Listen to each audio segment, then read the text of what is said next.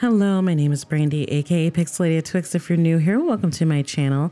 And if you've been here for a while hanging out with me, welcome back. And welcome to another one and done series final thoughts on the game of Kynseed. Now, I can say that this really isn't my final thoughts because officially I have not finished playing this game. It has become a permanent uh, residence on uh, Pixelated Twix channel. And I don't know why I said that in first person, but there it is. well, it starts with an acorn, or in this case, the minds of a few people who helped create Lionhead Studios' classic Fable series. Kynseed is a whimsical 2D sandbox open world RPG that stands amongst the Stardew Valleys and Harvest Moons, but it takes these IPs much, much further. Kynseed is ambitious, and it's an ambitious journey into a beautifully crafted, pixelated world. My kind of game, actually. Um, and I'm going to just quote something quickly from their website. Um, it is infused with their own ideas and a mix of British folklore, ancient legend, and rustic traditions. This is what creates this beautiful world. The humor, the the people, their thoughts, their thought processes, um, and just everyday activities. You can farm, you can explore, you can raise a family, you can shop, you can open up your own shop. You can hunt and um, defeat monsters. You can fish. You can chat with the townspeople whose lives are just as organic as your own. And yes, aging is a factor in Quill, and your life's decisions affects your children's lives for generations to come. You can play as your children. And yes, you guys, I sadly your pets even pass away. Um, I like many other gamers have put hours upon hours um, delving into the world of Stardew Valley I cried, I laughed um, with the relatable characters like Shane and Emily, Maru. Um, I literally built my farm uh, from the ground up and started a family with Alex. Shun me if you want.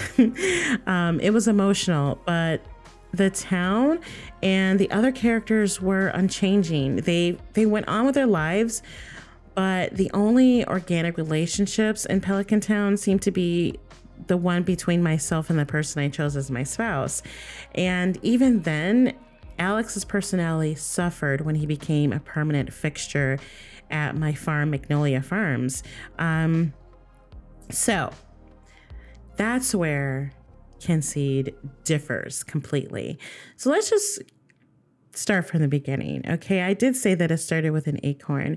The game opens up in poetic form, and you see like a screenshot, not a screenshot, but an actual short clip of a set of twins in a household full of full of children and a woman uh, if you guys remember the old poem old mother hubbard um, went to the cupboard. It was it Old Mother Hubbard or the old woman that lived in the shoe? I'm sorry. Let me make sure I quote that right. And she had so many children, she didn't know what to do. So um, there was a lone man who came to the rescue of two twins, and you begin your life as one of the twins. Um, and you can choose to be male or female. Right now, I will say the character customization screen is a little limited, and I'm pretty sure sure they're adding to that in the near future because they have added since I've started playing the game. Um, right now, you can choose your hairstyle and hair color, um, name not so much, and skin tone is still out. So I'm hoping that that is something that will be added in the future but um, I'm glad that the least you can change hairstyles and hair colors for now. I don't know if I've mentioned this before, but Kynseed still is in early development. Um, but if you are willing to go on that journey with me and many others, um, you can definitely pick this up on Steam. Okay, so like I said, you start off as one of the twins, and I decided to start with Robin. Um, and of course, because she's female, I'm female, I wanted to play this as um, close to uh, reality as possible, even though this beautiful world is set in a Fey uh, type environment or world. Yeah. The one thing I will say, the crafting in this game is a very, very involved for a 2D platform. And it's not a platformer. Let me fix that. For a 2D RPG, I've never um, played a game where the there's so much to it just the mini games alone. And I had a little difficulty with the mini games, especially in the blacksmith. Um, I didn't quite understand what I was doing, and it's something that I would definitely have to practice with over time, and that's okay as long as it's not boring or monotonous. And I didn't feel like it was. Um, it definitely held a little bit of a challenge. I didn't mind that, um, and it just made it just seem that much more interesting. Other than click this button and voila, you have a sword or a pail or whatever you're making at that time. Uh, the fishing in this game is quite easy. It's if you've played Stardew Valley, you will understand when I say that um, th- that it's it's a very user friendly uh, fishing UI. Um, it's almost a bit too easy because even though Stardew Valley's fishing was a little bit annoying at the beginning because it was hard to grasp the idea of how to fish. Also, if you guys have ever played Zelda Ocarina of Time, you know exactly what I mean by difficulty trying to learn the actual uh, idea of fishing in the game. Um, the Kynseed fishing mechanic is very just cast and catch.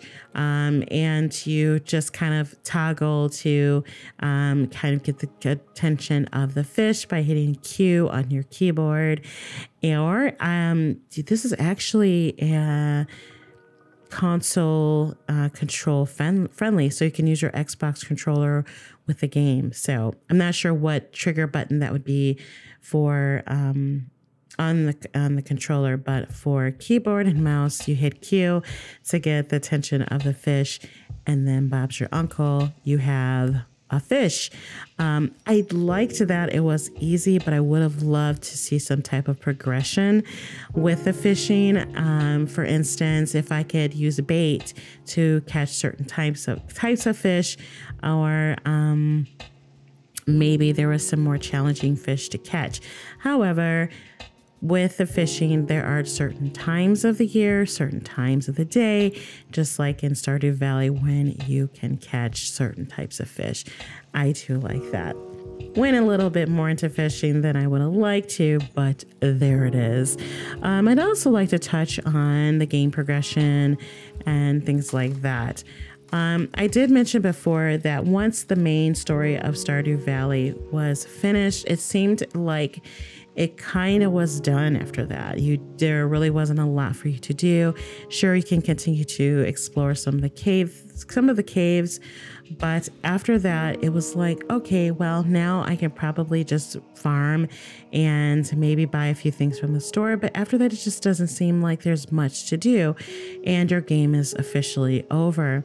However, with Stardew, with Stardew Valley, with Kynseed, your game continues through your bloodline through your family tree. And I'll try to keep the spoilers down to a minimum here, but you can produce a family. And once your own life succumbs to age, you can continue or decide to continue your line through your children.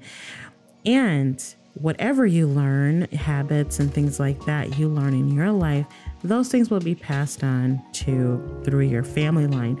Also, guys, the NPCs in this game have their own lives. They have their own romantic interests. They remember things that you do or don't do.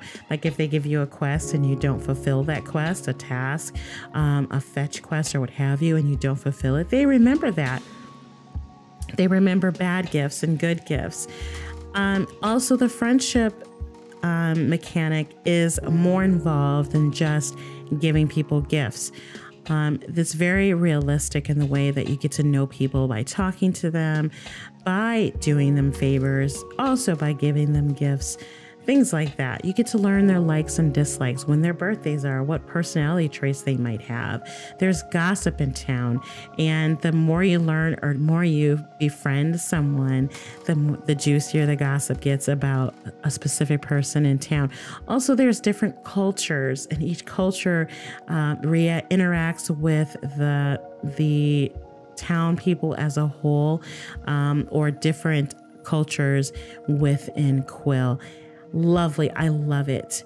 The exploration is amazing. It does the game encourages encourages you to explore, and the world is unlocked as you progress through the game. I'm not really sure exactly how large the map is since it's not quite finished that I know of. I did manage to unlock um, another portion as I uh, finished the prologue.